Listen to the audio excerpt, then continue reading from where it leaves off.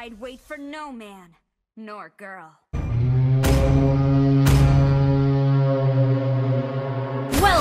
to Mobile Legends!